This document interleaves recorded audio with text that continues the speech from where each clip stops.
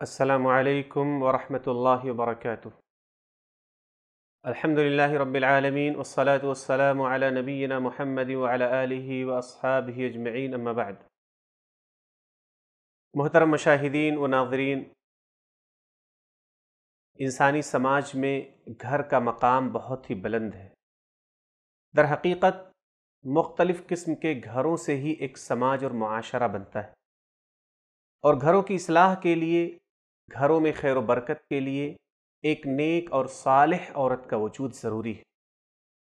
ऐसा घर जिसमें दीनदार औरत मौजूद हो, वो घर हर एतबार से खैर और बरकत का घर बन जाता है।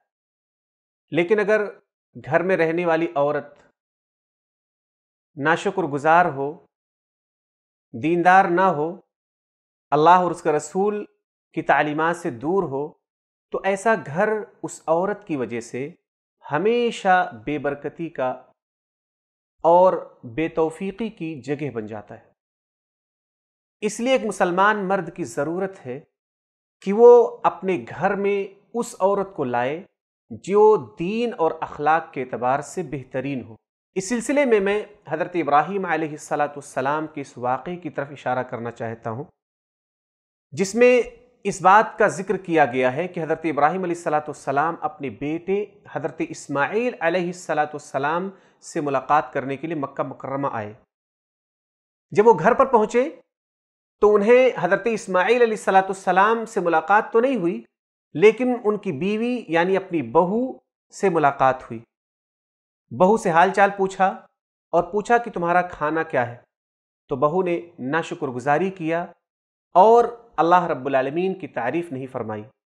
हज़रत इब्राहिम सलाम ने कहा कि जब इस्माइल आ जाएँ तो उन्हें मेरी तरफ़ से सलाम कहना और ये कहना कि दरवाज़े का ये चौखट बदल दे। हज़रत इब्राहिम सलाम चले गए। जब हज़रत इस्माईल सलाम आए और उन्हें बताया गया तो उन्होंने अपनी बीवी से कहा कि वो मेरे वालिद थे और उन्होंने ये कहा है कि मैं तुम्हें अपने से जुदा कर दूँ, लिहाजा तो अपने घर वाले के पास चली जाओ। दोबारा हज़रत इब्राहिम सलाम अपने बेटे हज़रत इस्माईल सलाम से मुलाकात करने के लिए आए। इस बार भी उन्हें हज़रत इस्माईल सलाम से मुलाकात नहीं हुई, लेकिन उनकी मुलाकात अपनी बहू से हुई, जिसने हाल अहवाल के पूछने पर अल्लाह रब्बुल की तारीफ़ बयान फरमाई, अल्लाह का शुक्र किया और हज़रत इब्राहिम सलाम से अपने यहाँ खाना खाने की गुजारिश की। हज़रत इब्राहिम सलाम ने पूछा कि तुम्हारा खाना क्या है? तो उन्होंने कहा, हमारा खाना गोश्त है और पीना पानी है।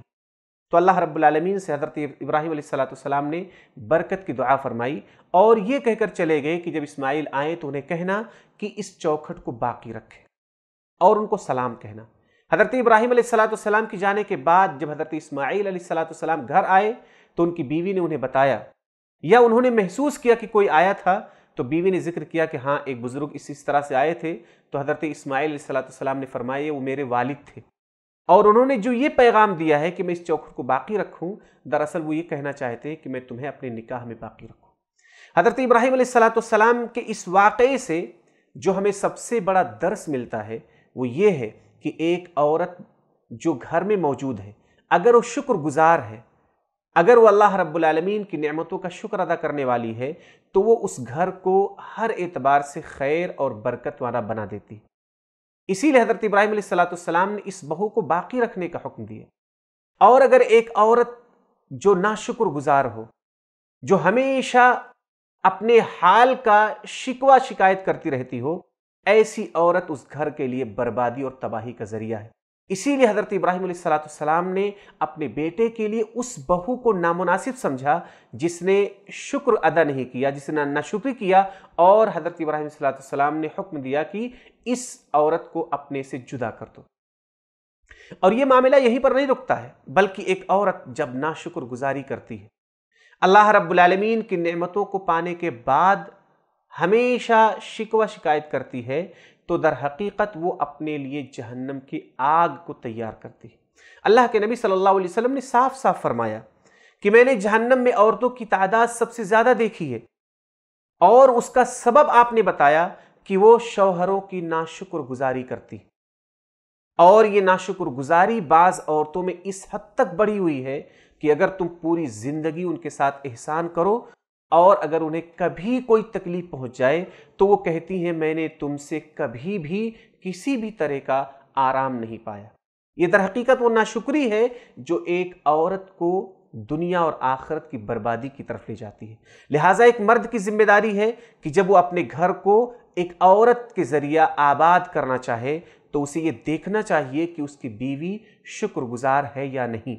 और जो औरत चाहती हो कि उसका घर उसके बाल बच्चे उसका शौहर, उसके कारोबार, उसकी ज़िंदगी में बरकत आए तो उसे अपने ऊपर ये लाजिम कर लेना चाहिए कि वह हमेशा अल्लाह रब्बुल आलमीन का शुक्रगुजार रहेगी। अल्लाह रब्बुल आलमीन हम सबको अल्लाह की नेमतों का शुक्र अदा करने की तोफ़ी अता फ़रमाए और ख़ास कर एक मुस्लिम खातून को इस बात की तोफ़ी अता फ़रमाए कि वो हमेशा अल्लाह रब्बुल आलमीन की शुक्रगुजार रहे, क्योंकि शुक्रगुजारी से नेमतें बाकी रहती हैं और नेमतें बढ़ती रहती हैं। और ना शुक्रगुजारी से नेमतें मिटती हैं और अल्लाह रब्बुल का अजाब नाजिल होता है। लिहाजा घरों की हिफाजत के लिए हम सबको अल्लाह रब्बुल का शुक्रगुजार रहना चाहिए। अल्लाह रब्बुल हमें इसकी तोफ़ी अता फ़रमाए। आमीन। अल्लाम वरहमल वर्क